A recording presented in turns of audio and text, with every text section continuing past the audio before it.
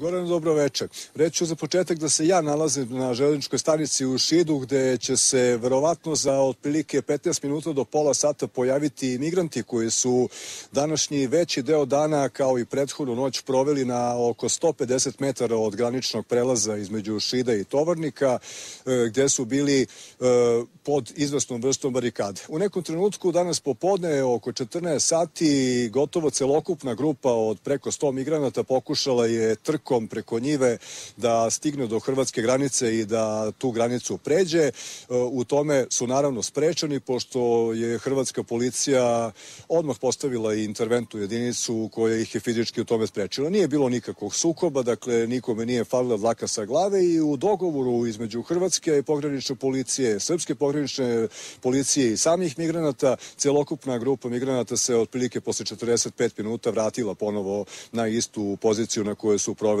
dakle ceo današnji dan na, na samom putu oko 150 metara granice. Posle e, otprilike jednočasovnog većanja migranti su odlučili da napuste to mesto iako su prethodno bili upozoreni da ukoliko odu odakle tu više neće moći da se vrate i takođe preko njiva krenuli su poluorganizovan u pravcu železničke stanice Šid. Pretpostavljamo da će se ovde ukrcati na voz koji će ih vratiti u Beograd. Tako će dakle i ova migrantska avantura, odnosno pokušaj pešačenja do graničnog prelaza i prelaska graničnog prelaza biti okončana na isti način na koji je bila okončana i ona prethodna pre oko mesec i po dana kada je takođe jedna grupa migranata među kojima je bilo mnogo upravo ovih koji su danas bili tu pokušala pešice da stigne na granični prelaz sa Mađarskom. Kao što se vratno naši gledalci sećaju, oni su posle neke 45 km u Inđiji odustali od tog puta i vratili se u Beograd.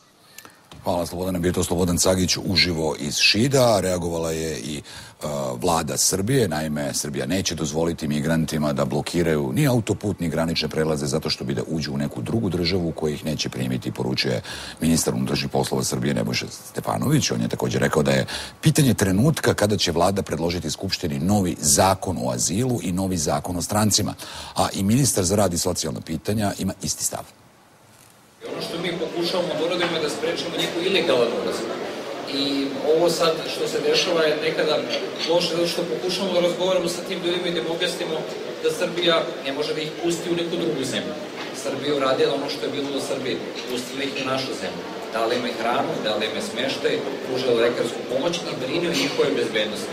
Srbija ne može da ih da nekoj drugoj zemlji i kaže izvolite. Dakle, to mora da uradi ta zemlja. Ako te zemlje to ne rade ili ne žele da rade, onda je to pitanje za njih.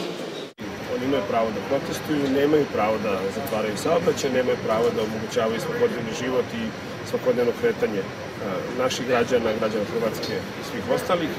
Mi smo im ponudili da uđu u naše prihvatne centre, bilo da je to Šir, bilo da je Beograd ili neki drugih prihvatnih centara.